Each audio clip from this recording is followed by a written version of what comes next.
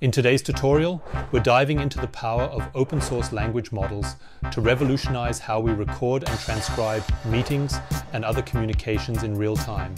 Have you ever dreamed of your own AI co-pilot that listens together with you and then can summarize, translate, or give tips in real time? As observed, the majority of the text is accurately transcribed. However, the approach of transcribing in two-second chunks also introduces errors in punctuation and occasionally misplaces words out of context. Addressing this issue will be our focus in the upcoming minutes. In this section, we'll continue with transcribing meetings.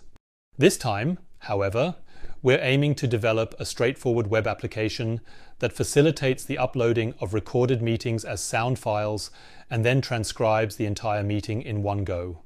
It will also feature speaker diarization to pinpoint and segment each speaker's contributions. In this video, we'll use Groq to create our own version of Jarvis from the ground up. Who am I speaking with? You are speaking with Jarvis, sir. What is your purpose? My purpose is to teach developers about large language models. For this, we'll make a web app that records your voice. This recording is then turned into text and sent to Groq which processes the data super fast and sends back the results. We then turn these results into speech. What is the oldest enemy?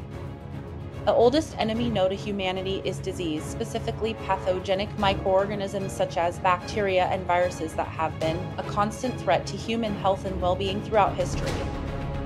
Tell me something most people don't know. The shortest war in history was between Britain and Zanzibar on August 27, 1896, and lasted only 38 minutes.